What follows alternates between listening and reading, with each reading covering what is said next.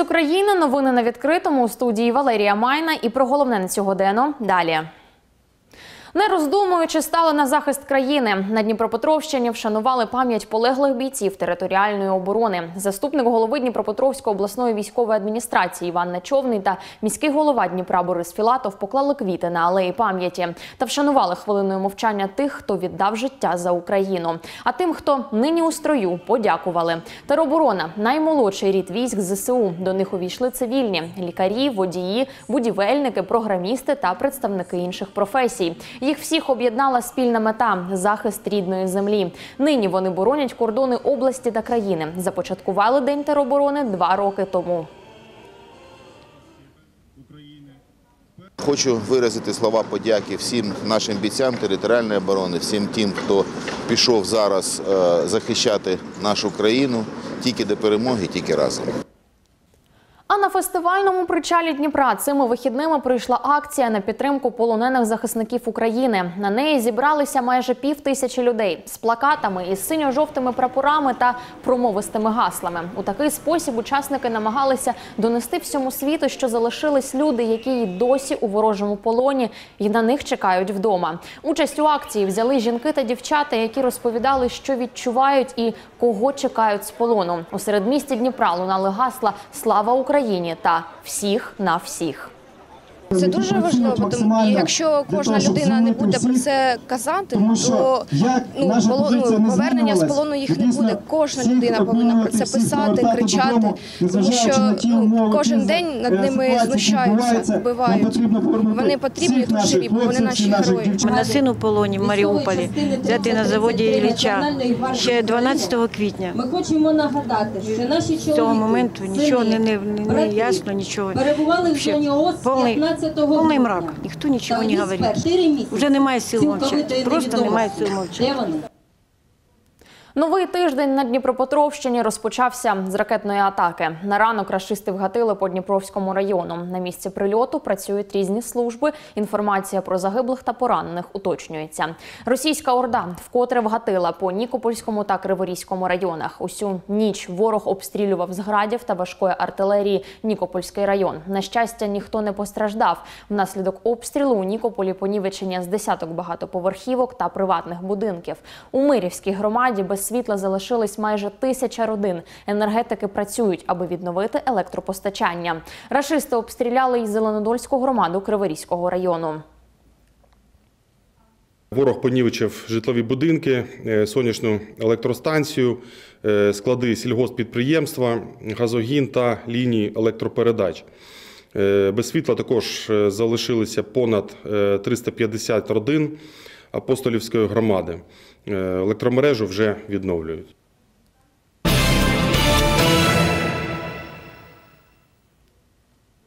До уваги водіїв з 1 жовтня поза населеними пунктами кермувальники мають вмикати денні ходові вогні. Якщо вони відсутні, то ближнє світло фар. Так потрібно їздити найближчі 6 місяців до 1 травня. Недотримання цих правил може обернутися штрафом.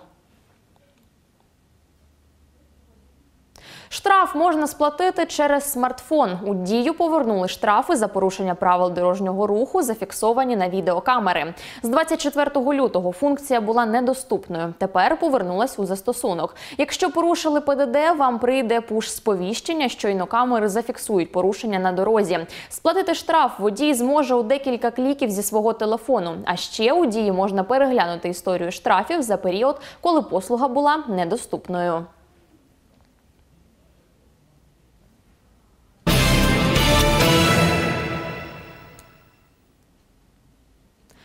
Вулиці нашого міста у Дніпрі для слухачів університету третього віку провели лекцію про перейменування топонімів. Це одна із чотирьох запланованих у експрес-курсі. На них студентів знайомлять з дерусифікацією, новими назвами та постатями, на честь яких перейменовані вулиці.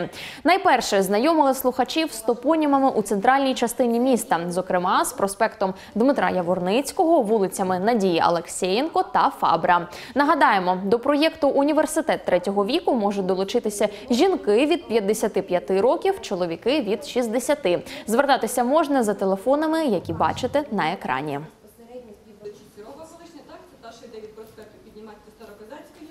Каже про інших Ми орієнтувалися саме на наших учасників, бо чули і бачили деякі складнощі стосовно е, того, як наші учасники не розуміють, наприклад, куди добиратися, яка вулиця несе яку назву, коли навіть вони е, відвідували наші якісь заходи в місті.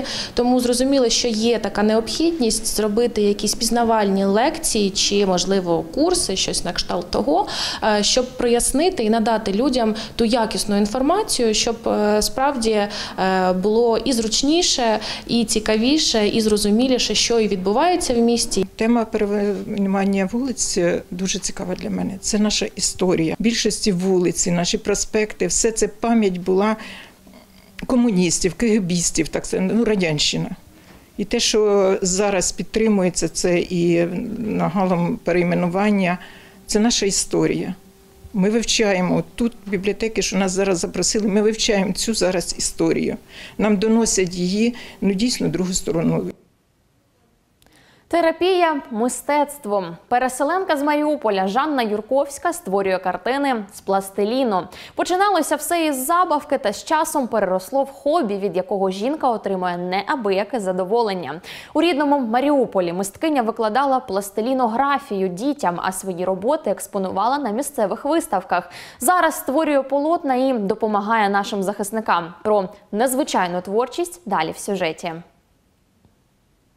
Пластилінографія як вид мистецтва не новий напрямок. Частіше за все такі поробки створюють діти на уроках позашкільної освіти. Та для пані Жанни таке мистецтво стало порятунком у складні часи. За освітою мисткиня кухар-пекар та каже, її завжди вабила творчість. Коли до її рідного Маріуполя у 2014-му приїхало багато дітей-переселенців, вона почала проводити для них уроки з малювання. Та замість фарб пластилін. Ідею підкинули, каже, самі діти. Я малюю з дітлахами на картоні спочатку, потім ми беремо ДВП, обично ДВП. І ніякої краски, ґрунт не потрібен. Е, Пластилин ті ж самі краски. Просто вони в, в такій формі, в плотной с- консистенции.